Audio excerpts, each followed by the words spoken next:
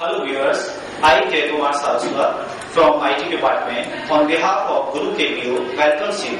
Today I will deliver lecture on the computer architecture.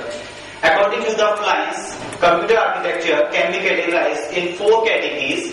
First is the SISD, single instruction, single data stream. It includes the traditional PC Second is the single instruction multiple data stream SIMD which includes the array processor or graphics processor. And third is the MISD which includes the flight control systems.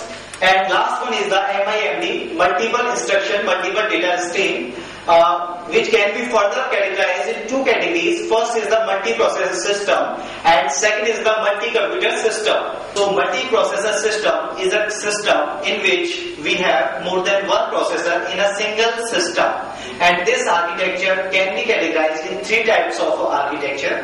First is the UMA, Uniform Memory Access Second is the non-uniform memory access NUMA and last is the cache-only memory architecture.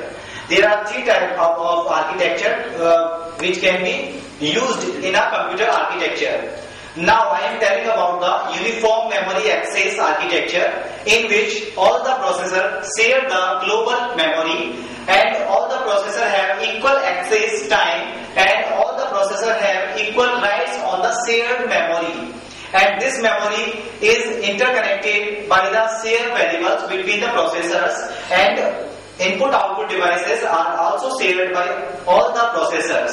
And these type of processors are called the symmetric processor. If any processor if all the processor have no equal rights then these are called the asymmetric processors. So next type of architecture is called the NUMA which stands for the non-uniform memory access it includes the uh, processor which have no equal access time and all the processor uh, share the global shared memory. If any processor wants to share the memory of another process, uh, another processor, then it have the difference time for accessing. So it is called the NUMA, non-uniform memory access. So last type of uh, architecture is the cache-only memory architecture. It includes the cache memory. Every processor has separate cache memory in place of globally shared memory.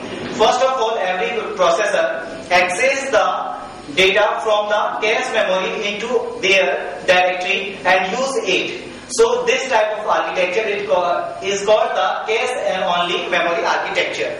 According to the Flynn's, computer architecture categorized in four categories SISD which is our traditional PC and SIMD it includes the graphics processor or array processors.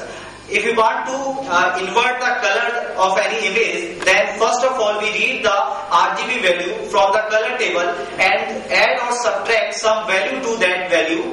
Uh, so this includes the includes in the SIMD MISD which is rarely used and uh, it includes the flight control system and MIMD includes the two type of architecture.